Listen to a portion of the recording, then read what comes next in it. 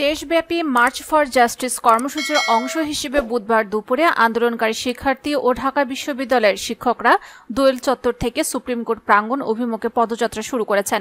এই পদযাত্রাকালে কার্জন হলের কাছে পুলিশের সাথে সংঘর্ষে আহত হয়েছেন বিশ্ববিদ্যালয়ের লোক প্রশাসন বিভাগের শিক্ষক শেহরিন আমিন মনামি।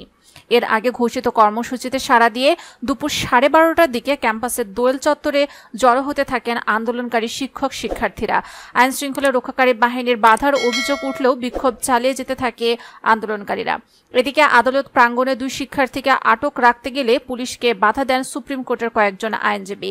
এর আগে মঙ্গলবার রাতে বৈষম্য বিরোধী ছাত্র আন্দোলনের ব্যানারে বিক্ষোভকারীরা মার্চ ফর জাস্টিস কর্মসূচি ঘোষণা করে শিক্ষা প্রতিষ্ঠান, আদালত প্রাঙ্গণ এবং দেশজুড়ে প্রধান সড়কে বিক্ষোভ প্রদর্শনের পরিকল্পনা করে।